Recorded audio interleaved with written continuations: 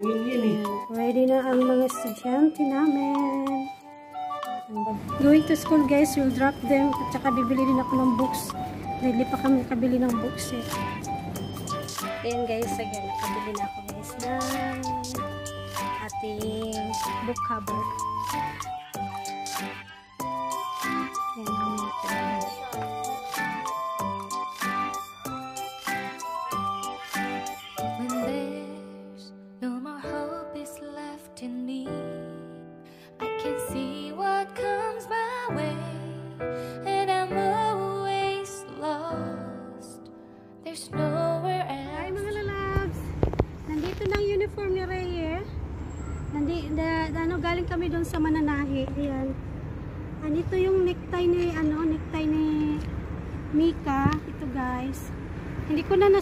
Mika dahil may lakad din silang mag-anak. So kaya galing kami doon guys sa, ah, ano, sa taas, doon sa Mananahi. Ewan ko nasan si daddy. Di sumama sa amin si daddy sa, sa taas eh. Ngayon naantay namin si daddy. Ewan ko kung saan nakaparking yun. So guys, bukas na pala ang first day ng school nila Reye. Okay, nag-video sa akin si Reye. Sige, be. Tatawagan natin si daddy. Good morning, good morning. Good morning guys. Good morning mga lalabs. Ayan. Panibagong araw guys. And exciting day. Ayan, today po is the first day of school ni Ray and Mika. So, ayan guys, today is the first day of school ng dalawa. So, this is exciting day kasi first day ni Mika, no? Dito sa kanyang school, dito sa Oman. So, nandito tayo sa kusina muli and then, as usual, mag-prepare tayo, ng breakfast sa dalawa at saka baon.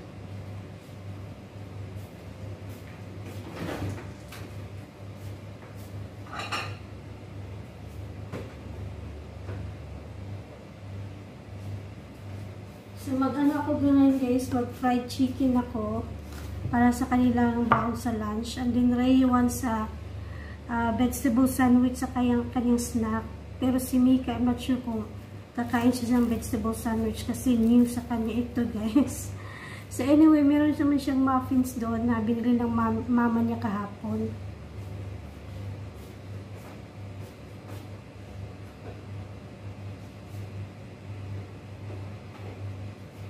Then, gagawa ako ng hotdog at saka itlog sa kanilang breakfast. So, yun guys, maghanda muna ako ng lulutuin na ito.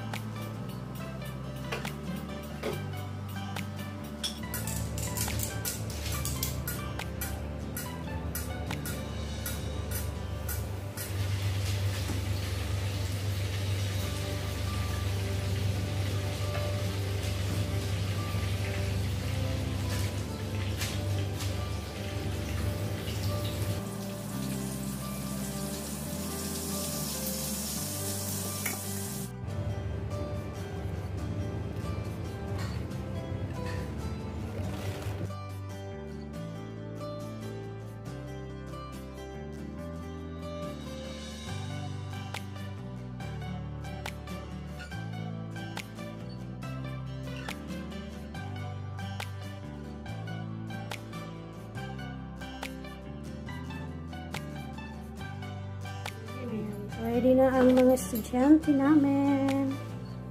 Ang bababa. Ate Mika is there.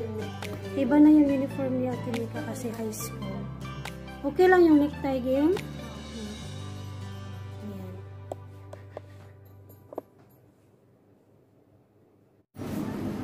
Going to school. Doon, doon, banda, doon, banda. going to school guys, we'll drop them at saka bibili din ako ng books. Daily pa kami nakabili ng books eh.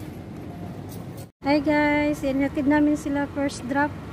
First drop namin sa school. At kailangan din namin pumunta ni Brenda, bibili kami ng books. Wala pa kasing books nung ano, nung nag-enroll. Hindi pa available. Ngayon ay available na daw yung books kaya bibili. Bibili din kami ng books nila. Yung si daddy naglilinis pa. Pa. And then we will drop also Tita Lab sa work. Para isang way na lang. Kita tayo doon. Kaklas May ko high ba school. yung friends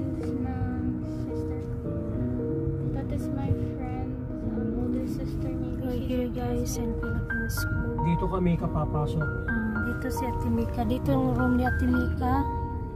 But we have to, ano, we have to park muna. Parking muna tayo. Traffic na guys.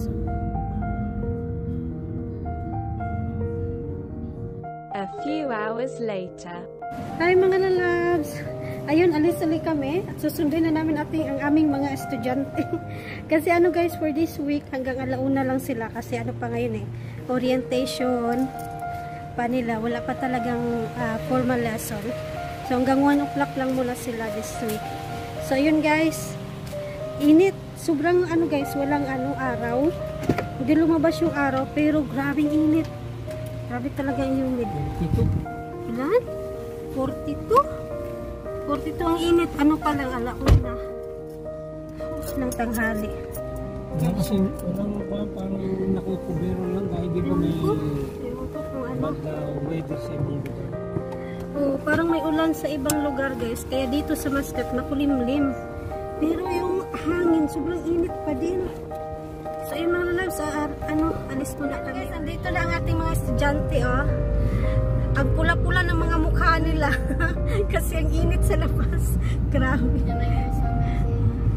Ah, shush, you didn't play? No, Grabe, grabe. So hot nga, wag muna kayo mag-play. Next month, the September, it will be okay na. Little bit okay na yung wind. Will be a bit cold na. So how's the first day of school? it was fine. I'm again. With Kobe, the crying boy. Is still, is he still back. Where is Francis, your classmate? Yeah. Oh, that's good. Ah. So, Ate Mika has ano na daw, has a friend during a first day of school. Yan yung ano, gang, from Japan? Yeah, Japan. Um, Filipina but from Japan, transferi from Japan. So, ayun guys, pauwi na kami. Dadaan muna kami ng ano. Hindi rin marunong magtagalog. She knows Tagalog, gang? Um, uh, Little hindi bit. masyado.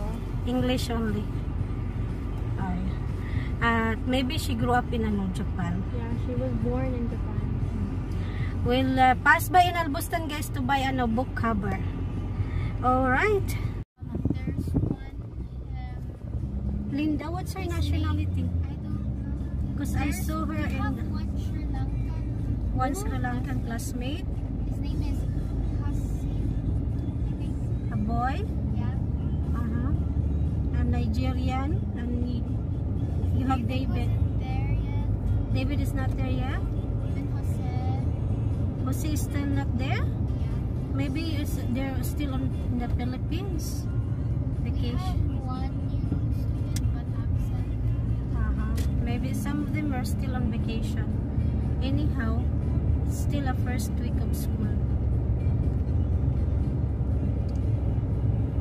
Joshua is in ano, righteous, right?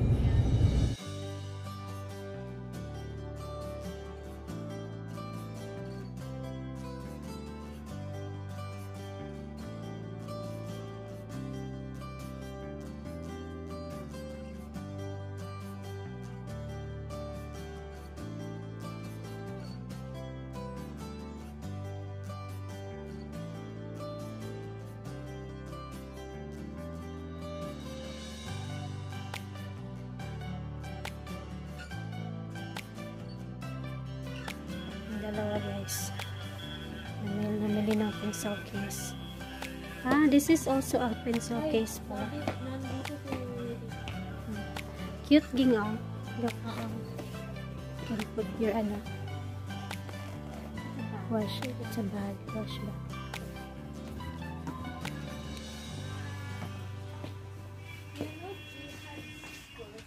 Ayan guys, again, nakabili na ako guys. Bye!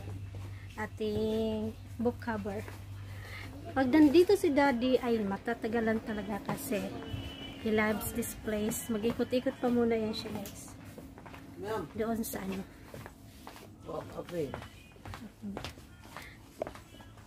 Doon sa kanyang mga electronic stuff. Dapat pala may ano tayo, gang. Kuha kayo ng ano, basket doon. Kasi this is quite heavy and that one also. Get a basket. Ako ng basket muna.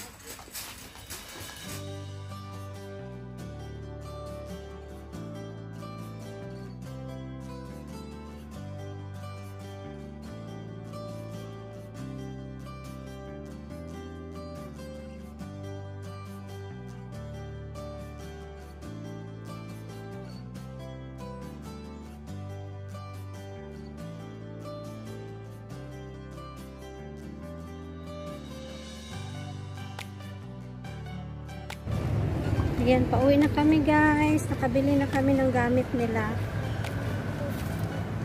Oh, padyan ka na sa kabila game.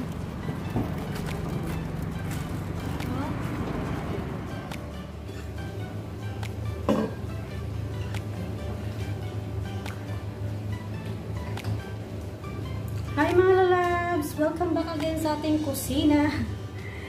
Dinner time na guys. Gabi na dito sa Oman. So, nagluluto tayo ngayon ng dinner. Nagluto ako ng chicken na fritada mga lalabs. So, ito yung ulam po tonight. And then, kasama na din po ito sa magiging baon nila Ray bukas sa lunch sa school nilang dalawa ni Ate Mika. Aking dalawang estudyante guys. So, ayan. Luto-luto mood muna tayo mga lalabs.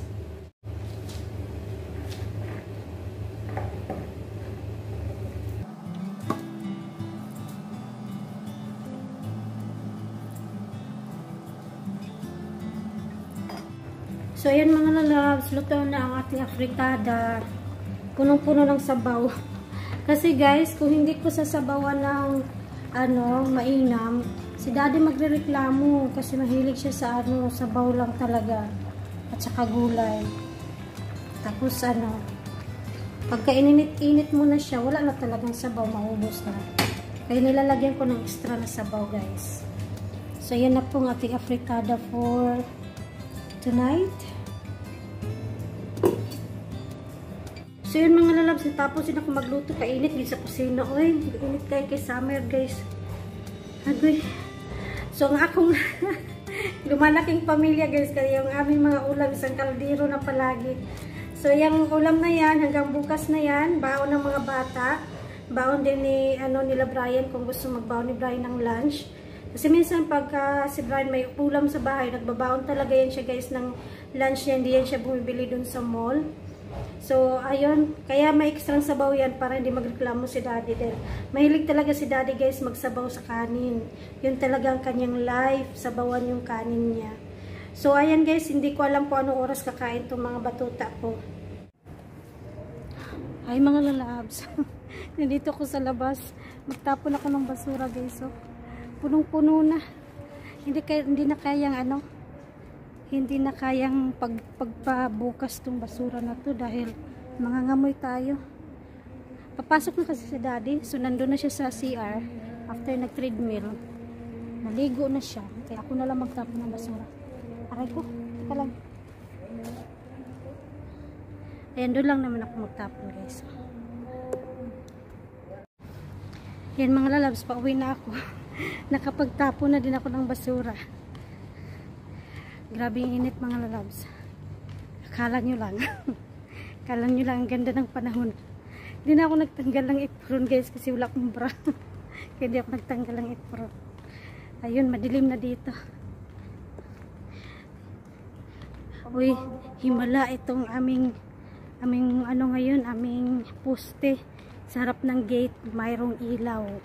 Kasi alternate guys, minsan dito walang ilaw, doon naman may ilaw. Pag walang ilaw dito, dito naman sa may may ilaw. Ewan ko, nagtitipid talaga siguro ang ating kamahalan, ating pinuno. Kaya ngayon dito maliwanag sa amin. Oh. Ayan, may ilaw kami. Ayan, pasok na ko guys eh.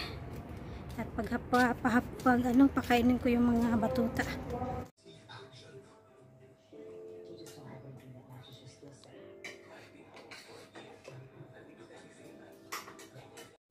Mga lalabs, kain tayo. Ayan.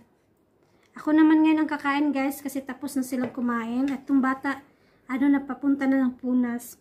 Pumasok na din si daddy. Nagpunas muna ako guys bago ako kumain. Kasi sobrang init talaga kanina para kung puputok. Grabe. Alam mo yun, bago ka, ap- after ka mag, ano, maglu- magluto, mainit, mainit ang panahon, mainit pa yung kusina. So yan, ah, ang bata tapos ng kumain guys, ako na lang kakain ngayon. At magpunas na siya. What are you eating? About ng marshmallow pang dada? Hmm. Aplitada guys. Kumakain lang ako ng chicken yan guys. Dahan-dahan lang. Pero pag feel ko na medyo hindi ako makahinga, hindi na rin ako kakain da mga ilang ng ilang araw. So, yung ang ganap guys, update ng first day ng school nila today. Ayan, nag-enjoy naman si Mika mga lalab. Sabi niya, nagkaroon daw siya ng friend kaagad, transferi din from Japan. Parehas lang transferi. So, yun guys, ang update. Nag-enjoy naman sila kahit sobrang init talaga, super humid. And then tomorrow again, another story for their, ano, for their school. Uh, another, the second day of school dito sa Philippine School of Math. So guys, mag-end na tayo guys at kakain ako. And thank you again for joining us. Bye-bye! Bye-bye, bye-bye na, bebe. Sorry, bye-bye. Nanonood kasi kami ng movie. Bye, good evening, good night mga lalabs. Gabi na dito. Ako nakapagpunas niya, siya hindi pa. Bye guys! See you again!